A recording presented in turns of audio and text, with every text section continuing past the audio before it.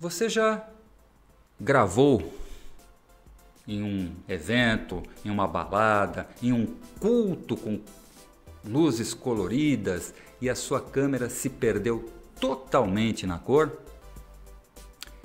Isso se dá porque nessas situações você se utilizou provavelmente do white balance automático.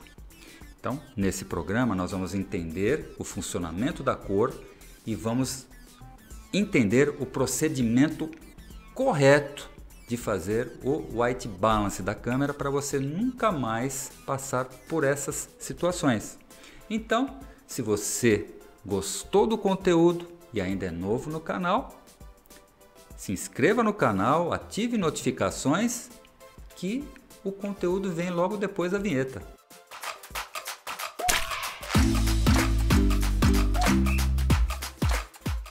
Muito bem, hoje nós vamos falar de White Balance Manual, que é a única forma de você se assegurar que as cores que você gravar serão fiéis às cores que estão realmente nos seus olhos.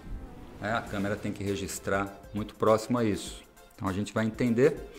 Para isso, eu simulei aqui é, uma situação bem adversa, tá? Eu tô aqui com luzes bem adversas, tô com uma luz é, comum aqui, uma luz fluorescente comum, que ela tem uma tonalidade esverdeada eu tenho luz de LED e eu tenho uma janela. Eu tenho uma situação bastante diversa e para complicar, eu vou ligar uma luz verde em cima de mim na hora do procedimento. Vamos comparar o procedimento de white balance automático e manual numa DSLR, tá? Aproveitando já você já vai ver como que se bate o branco numa DSLR para que você mesmo nas mais diversas situações de luz você consiga uma precisão nas cores através do conhecimento de como fazer white balance da forma correta.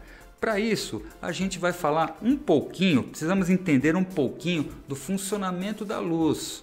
Tá? Tudo começou com um estudo de um físico, o tal do Kelvin, que ele aqueceu um determinado material É, e esse material foi apresentando algumas cores, desde o alaranjado até azulado para o violeta.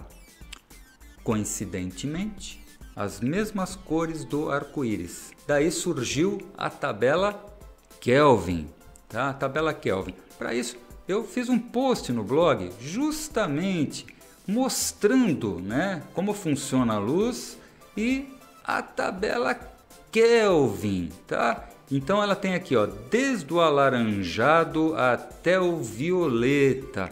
Começando aqui que o alaranjado tem é, mais ou menos aqui uma luz de vela, 1800 Kelvin. Atenção, eu falei 1800 Kelvin e não graus Kelvin, tá bom? O correto é falar 1800 Kelvin, certo? Voltando para cá. É, então, passa aqui por lâmpada de tungstênio, aquelas lâmpadas domésticas mais antigas. É, um entardecer 3000 Kelvin, lâmpadas de estúdio 3400, um flash 5000, sol do meio-dia 5500, até lá o crepúsculo, tá? Um dia nublado, crepúsculo 12000 Kelvin. Então, é isso aqui. Então, quanto maior a temperatura aqui, ó, ela vai é, amarelando, esverdeando, azulando, ficando violeta, tá? Temperatura de cor nada tem a ver com sensação de cor. Ou, se tiver a ver, é uma relação inversa. Por exemplo, quando a gente fala que uma luz de vela né, tem 1800 Kelvin é uma temperatura baixa, enquanto um sol do meio-dia ou um crepúsculo está lá com 12 mil Kelvin, é uma temperatura alta, tá? Mas uma, quando você grava e está alaranjado, quando você quando está alaranjado, a sensação que dá, a sensação que dá para o telespectador é de calor. Ao passo que quando você grava e está azulado, totalmente azulado, aquele, a sensação é de, de frio. Então é uma sensação, a, a sensação é psicológica, né? Enquanto a tabela Kelvin é física. Então ela reflete a temperatura, enquanto sensação tem mais a ver com o estado psicológico que ela desperta, né? A sensação que ela desperta nas pessoas quando assistem, tá? Então nada tem a ver. Fica fica essa essa dica, né? Então tendo essa né, essa essa diferenciação, eu lembro que no nosso blog eu coloquei absolutamente né, todas essas tabelinhas aqui, né, bem explicadas e também falando de luz em ambientes externos. Eu tenho aqui essa tabela aqui, ó, de ambientes externos, ó, entre 2000 e 3000 Kelvin, nascer do sol, né, aquele nascer do sol está bem alaranjado, temperatura de cor baixa, tá? Entre 3000 500 e 4500, aquele comecinho da manhã, aquele né, que está amarelando, tá? Para começar a azular e ela vai azular lá pro 5.500, acima dos 5.000, entre 6.000 e 7.000, aquele dia nublado, sombra, para chegar aqui até entre 7.500 e 10.000 o crepúsculo, tá? Então coloquei justamente essa tabelinha aqui para que é, fique bem explicado a temperatura em ambiente externo. Lembrando que os olhos humanos eles corrigem automaticamente a cor, tá? Não é o que, o que quando a câmera está no automático ela tende a fazer essa correção. Porém, nem sempre ela a câmera pode se perder em condições adversas. Né? Como eu falei, eu vou mostrar para vocês agora um procedimento na DSLR. Nós vamos pegar uma T5i né?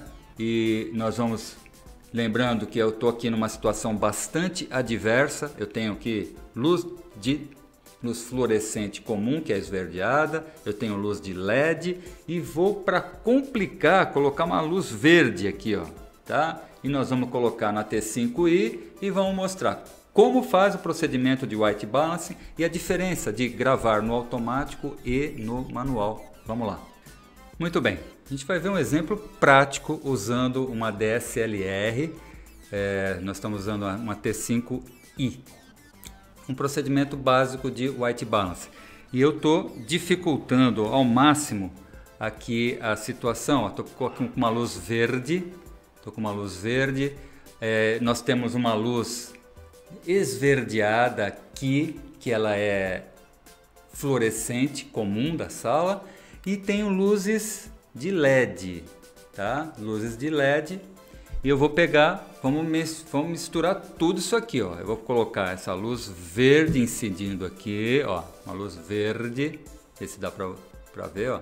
Uma luz verde incidindo, tenho luz esverdeada, tenho luz branca. Então nós vamos fazer um, um, um white balance com essa situação aqui, ó, tá? Com essa situação exatamente aqui. Vamos pegar, o ideal seria uma luz, uma, uma tarja, o ideal seria uma tarja, um cartão cinza, mas eu tenho aqui o cartão branco, tenho aqui um, uma folha branca. Então, com todas essas luzes, nós vamos é, fazer o procedimento de white balance. Como é que funciona? Nós vamos tirar uma foto aqui com todas essas luzes, ó, tá? Uma foto incidindo aqui todas essas luzes, tá? Verde, esverdeada, etc. Como que é o procedimento de white balance? Vamos tirar uma foto. Muito bem, tirou a foto, agora vai ao menu e vamos selecionar o White Balance manual, é o segundo menu da, da esquerda para a direita. Aí, White Balance personalizado, dá um set, seleciona essa foto, que ela é a única, né, que está aí, dá um OK e mais um OK, tá? E vamos ver o White Balance como é que ficou, tá? Olha só, esse aqui é o resultado do white balance. Agora nós vamos colocar ela no automático. Vamos deixar no white balance automático e ver o que acontece, né? Ó, vamos deixar essa luz bem do jeitinho que ela tá, ó. E vamos colocar no white balance automático. Vamos lá. Em automático, ó como fica. Então a câmera ela pode errar no automático. Por isso que você tem que fazer o procedimento de white balance e da forma correta. É isso. Vocês viram que o procedimento correto de white balance, nós usamos uma folha branca. O ideal é a folha cinza, tá? A folha branca ela tende, se existir aberrações cromáticas, né? situações de aberrações cromáticas, o branco pode apresentar. Já o cinza ele é acromático. Então, se você puder usar a tabela cinza, né? aquela cinza, melhor ainda. E Lembrando que no blog eu coloquei a tabela cinza aqui, pode ser inclusive essa aqui, ó. Essa tabela cinza a gente usa para é, definir latitude de câmera, né, que é a diferença entre branco e preto, né, esses tons todos. Ela funciona muito bem para white balance também. Então, esse foi o programa sobre white balance. Espero que você tenha gostado do conteúdo. Se gostou do conteúdo e ainda não está inscrito, mais uma vez o convite para se inscrever no canal ativar notificações, porque aqui você sempre vai encontrar muito conteúdo. Até a próxima!